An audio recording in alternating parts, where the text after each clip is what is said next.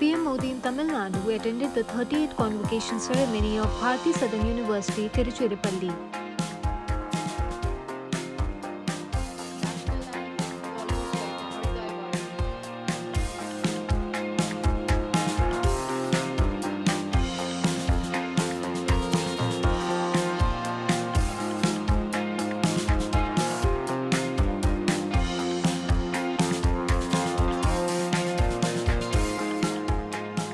Governor R.N. Ravi and CM M.K. Stalin were also present.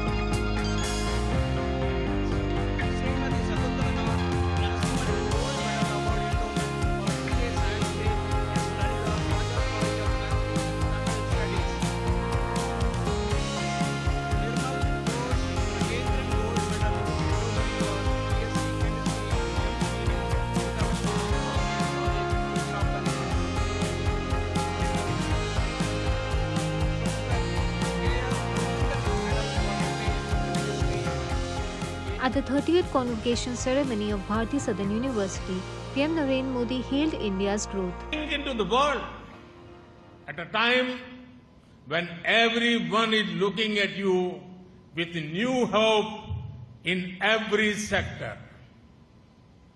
एनत मानव कुटुंब में youth means energy. It means the ability to work with speed skill and scale.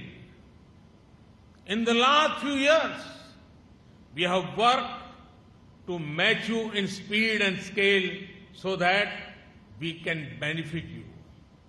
In the last 10 years, the numbers of airports had doubled from 74 to nearly 150. Tamil Nadu has a vibrant coastline. So you would be happy to know that the total cargo handling capacity of major ports in India had doubled since 2014. India has also sealed a number of trade deals with important economies. These deals will open up new markets for our goods and services. They also create countless new opportunities for our youth. Whether it is strengthening institutions like the G20, fighting climate change, or playing a bigger role in the global supply chain, India is being welcomed as a part of every global solution. In many ways, due to the local and global factors, this is the best time to be young in India. Make the most of this time to make our country to new heights. Anand Madhav Kudumba mein, some of you may be thinking that today is the end of university life for you. That may be true, but it is not the end of learning. You will not be taught by your professors anymore, but life will become your teacher. In the spirit of constant learning, it is important to proactively work on unlearning, reskilling, and upskilling. Because In a rapidly transforming world, either you drive change or change drives you. Once again, I congratulate the young people graduating here today. The science you learn can help a farmer in your village.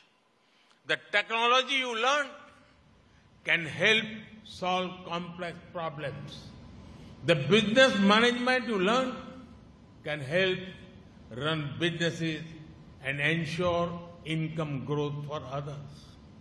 The economics you learn can help work on reducing poverty. The languages and history you learn can help work on strengthening culture. In a way, every graduate here can help contribute to creating a developed India by 2047.